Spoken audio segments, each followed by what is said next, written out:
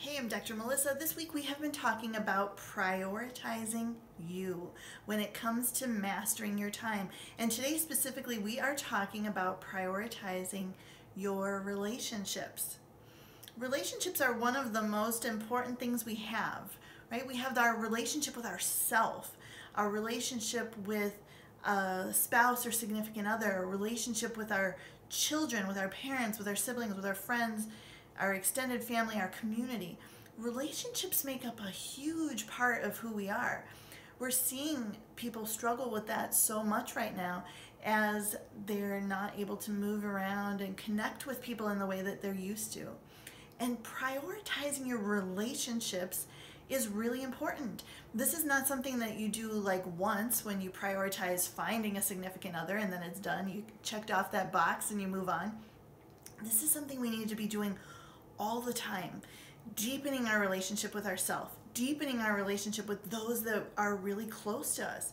Because not only does that create a sense of fulfillment, it increases our sense of love, our sense of joy, and our loving of life being here in this world.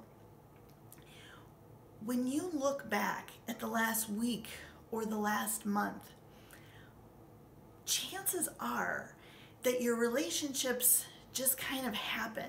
There's not necessarily a prioritizing of where you're going to make that work. And I'm encouraging you to shift that moving forward, to set some appointments on your calendar that are for you to connect with yourself. That might be meditation. That might be a movie meditation, like taking a walk in nature.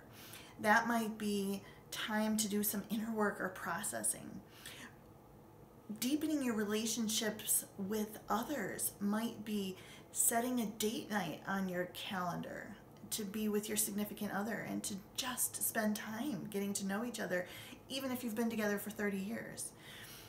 Deepening your relationships with your kids might be quality time outings, board games. We've been doing Dance Dance Revolution at home, which has been a great way to get some exercise and have some fun together whatever it looks like, putting it on your calendar as something that doesn't just like accidentally happen if we're lucky, but something we're prioritizing, we're choosing to put first in our lives. We're, we're choosing to give it high importance, to give it a place on the calendar.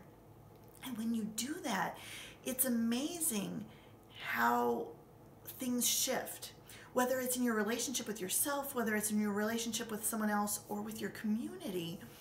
You know, if if I had a relationship with someone, a, a friend say, and we accidentally ran into each other and we chatted for 15 minutes and it was a nice conversation, it wouldn't be as meaningful as if this friend reached out and said, Hey, Melissa, I've been thinking about you. I really want to connect.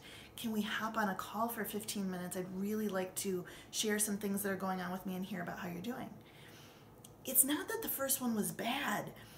Those are great for spontaneous, you know, things where you you accidentally have extra time or you run into someone.